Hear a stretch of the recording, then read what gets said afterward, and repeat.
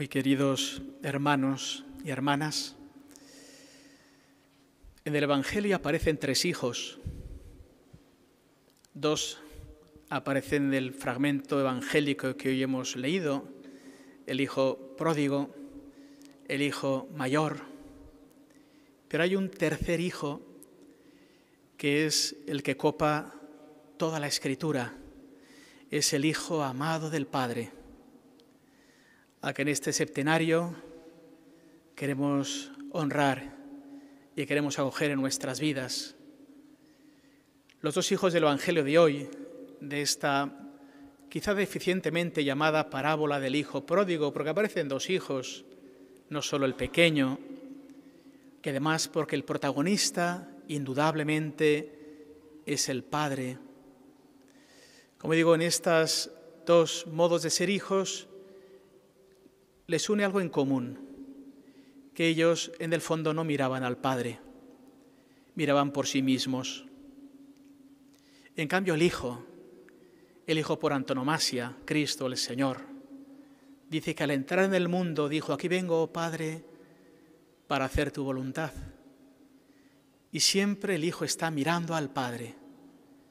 Y siempre Cristo quiere mostrar el amor del Padre, que es misericordia, con cada uno de nosotros. Él viene no a hacer su voluntad, sino a mostrar ese derramamiento inmenso de amor de Dios que se nos da a través de Él.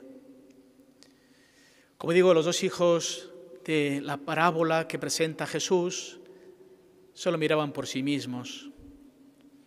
El hijo menor se parece quizá a los cristianos ya envejecidos de esta Europa envejecida que está como empachada de Dios.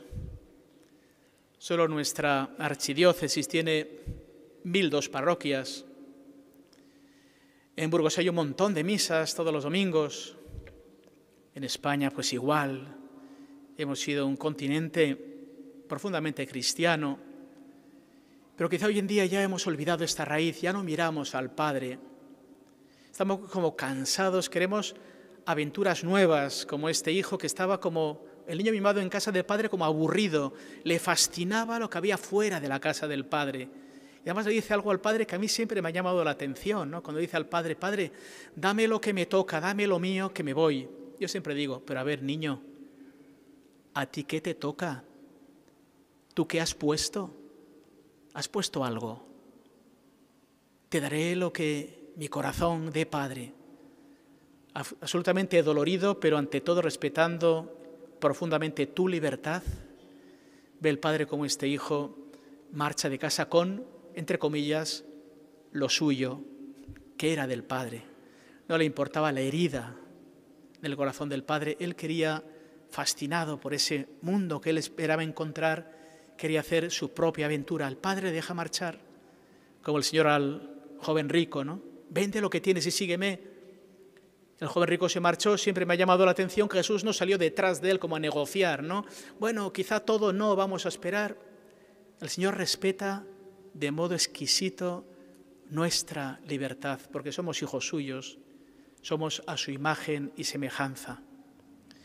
Y este hijo, después de haberlo gastado todo, bien lo conocéis, estaba de un modo tan lamentable, porque decía, no solo servía a los cerdos, que era el animal impuro, sino que nadie, nadie le daba de comer, ni siquiera lo de los cerdos. Esa situación de inmensa soledad, de inmenso fracaso. Y cuando vuelve donde el Padre sigue pensando en él. No conocía al Padre. Dice, bueno, a ver si me contrata como un jornalero, pensando en mí. Por lo menos yo comeré. Que me contrate como jornalero y capaz de vislumbrar el abismo de misericordia, del corazón del Padre. Y pensando en sí mismo una vez más, vuelve a su casa para buscar un trabajo, para poder comer un poquito mejor que los cerdos. Me gustaría recordar los cinco verbos que nos dice el Evangelio de hoy, de qué ocurre con el Padre. Dice, lo vio. El Padre lo vio de lejos, pero no es como un vigilante que vigila el universo, ¿no? Sino es como ese Padre amoroso que contempla con amor a sus hijos, siempre pendientes de ellos, de que no les falte nada. El Padre lo vio, dice, se conmovieron sus entrañas. El Padre se estremece. Aquel hijo que marchó con la mitad de lo suyo, seguramente con ricos vestidos, buen calzado, una buena mochila, con buen dinero, vuelve casi irreconocible. Vuelve hecho un andrajoso, seguramente con los pelos revueltos, con grandes dificultades de salud. Dice, y el padre echó a correr. Cuando voy enamorándome de esta hermosa tierra castellana y voy por los pueblos y veo pues a vuestros ancianos, todavía en muchos pueblos, con su cachava sentados delante de las casas, me imagino a este padre que a pesar quizá de sus dificultades echa a correr él, no el hijo, él se echa a correr.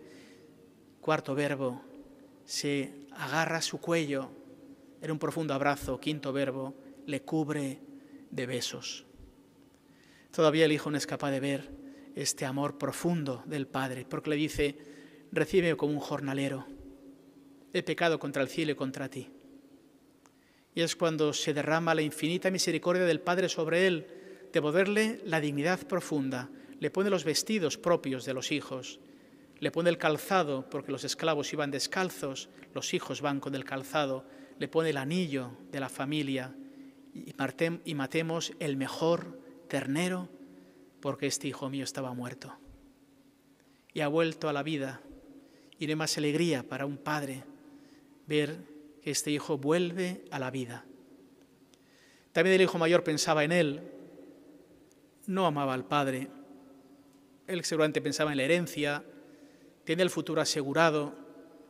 Cuando viene su hermano no le llama hermano, le dice al padre, ha venido el hijo tuyo este y encima lo hiere porque le dice, ha gastado tus bienes con malas mujeres, tus bienes, y tú lo recibes. A mí nunca me has hecho ninguna fiesta.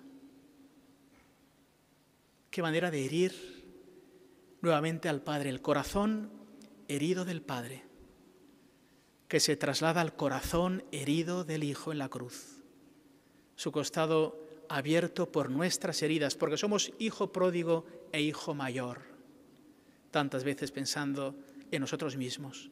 Y él intenta explicarle, mira, tu hermano ha vuelto a la vida, acércate y haz fiesta, porque es una fiesta grande para toda la familia. Esa es la alegría del cielo cuando volvemos a Dios.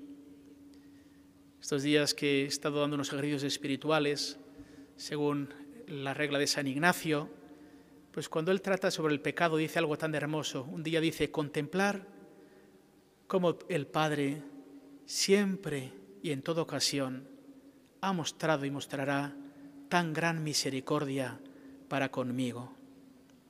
Si examinamos nuestra vida, habrá sido como haya sido, con momentos de gran luz y de amor y otros momentos oscuros, como el Padre siempre ha mostrado la inmensa misericordia y la seguirá mostrando con cada uno de nosotros, porque Él es Padre que nos quiere hijos y no nos quiere jornaleros.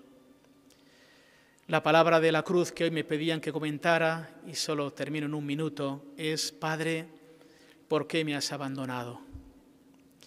Yo la uno a una frase del credo que rezamos, que el Señor descendió a los infiernos. Es decir, el Señor desciende a la soledad más absoluta del hombre.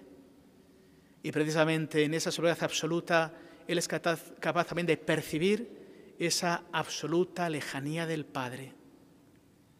Muchas veces cuando ves el mundo del sufrimiento y ves personas que sufren, sabes que a veces ni siquiera podemos ni siquiera rezar ¿no? de, de lo que sufrimos, no estamos con el corazón en paz. El Señor experimentó esa profunda soledad en la cruz, porque es nuestra soledad, es nuestro abismo, esa profunda nostalgia de Dios que Él quiso experimentar, precisamente para llamar a Adán y Eva de sus infiernos y soledades, y también para rescatarnos a nosotros de esa inmensa soledad como el Hijo pródigo, para volvernos a la comunión de los santos, a la comunión de la Santa Trinidad, a la comunión de la Virgen María y los ángeles y de toda la Iglesia. Ojalá que el Señor nos rescate en cada momento de esas tentaciones de soledad y ojalá que en Él queden para siempre disipadas nuestras oscuridades, porque la siguiente palabra será, Padre, en tus manos encomiendo mi espíritu, en tus manos encomiendo mi vida, son las mejores manos. Ojalá también hoy podamos experimentar este abrazo del Padre y reposando, confiando nuestra vida en las manos de Dios, llenas de amor y llenas de misericordia. Así lo pedimos hoy al Señor por medio de nuestra Madre Santísima, Reina y Madre de Misericordia. Que así sea.